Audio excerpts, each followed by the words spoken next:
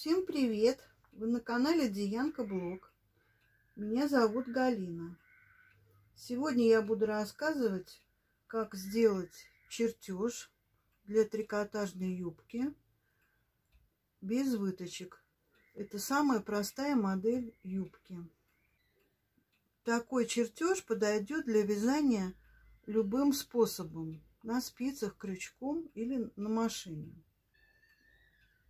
Для построения чертежа нужно снять всего три мерки. Объем талии, объем бедер и длина юбки.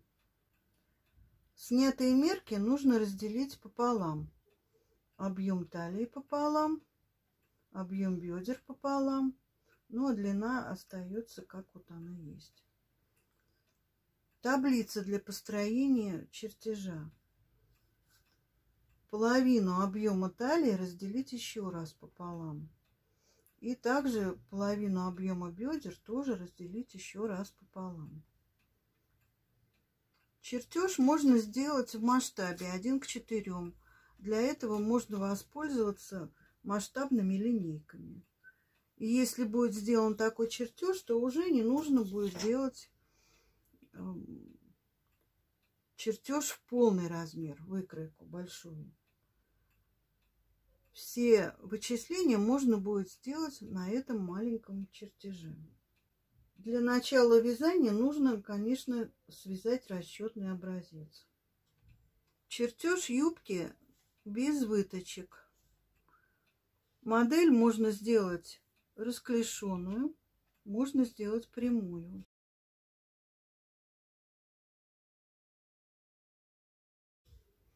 Вот это будет прямая вот по этой линии, это линия местоположения бокового шва, или расклешенная. Ну, здесь примерно дано расклешение от 3 до 5 сантиметров. Для машинного вязания расклешение будет зависеть от толщины пряжи, потому что здесь мы ограничены количеством иголок на машине. Слишком широкая юбка не получится. Итак, для построения чертежа нужно построить прямой угол. Вот, допустим, здесь. Провести линии. Горизонтальную линию, линию бедер и линию низа. Линию середины заднего полотнища, линию середины переднего полотнища. Так. От линии середины заднего полотнища по линии талии вправо отмерить ширину сетки – как ее высчитать? Ширина сетки – это объем бедер, разделенный пополам, плюс свобода облегания. Это стандартная мерка 2 сантиметра. И полученная цифра и будет ширина сетки. Допустим, 54 сантиметра. И от данной точки отмеряем вправо 54 сантиметра. От полученной точки вниз провести вертикальную линию. Следующая линия. Линия бедер.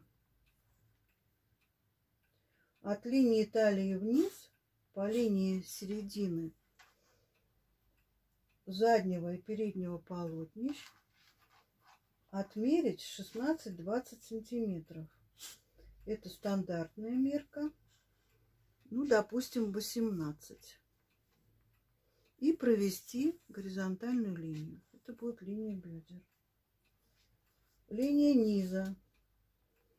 От линии талии отмерить мерку длины юбки и провести горизонтальную линию. Это будет линия низа. Линия местоположения бокового шва. Ширину сетки разделить пополам и провести перпендикуляр. Для того, чтобы боковой шов не отвисал, если юбка толстая, то по линии низа после наборного ряда выполняют укороченные ряды. на расстоянии равной длине юбки. То есть приподнимают боковую часть юбки, боковой шов. Чтобы приподнять линию бокового шва, от линии низа отмеряют 2 сантиметра, проводят линию. И потом, чтобы средняя часть была длиннее, чем боковой шов, после наборного ряда выполняют несколько рядов частичного вязания на высоту 2 сантиметра. Но это зависит от петельной пробы, сколько рядов в сантиметре.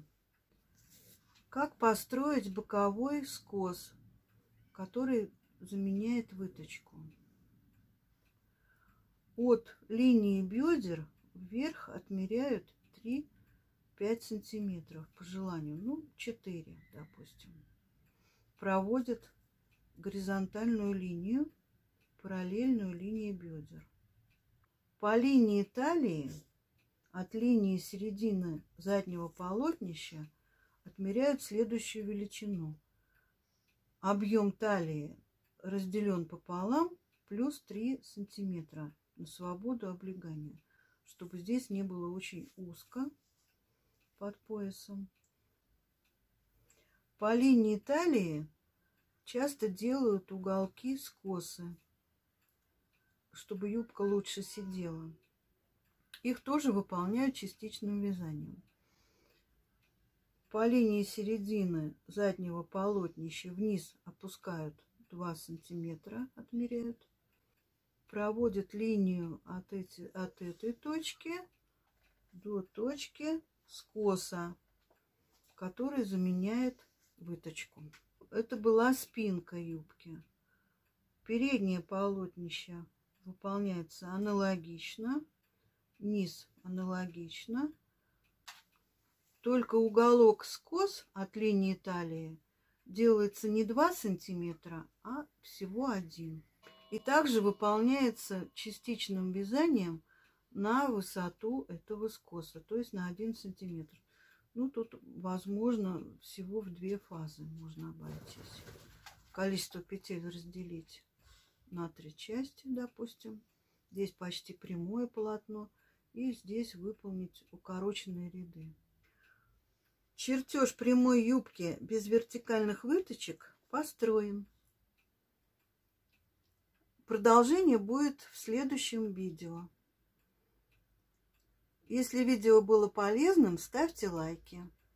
Подписывайтесь на наш канал. Спасибо всем, кто смотрит видео полностью от начала и до конца. Всем спасибо, всем удачи, до свидания.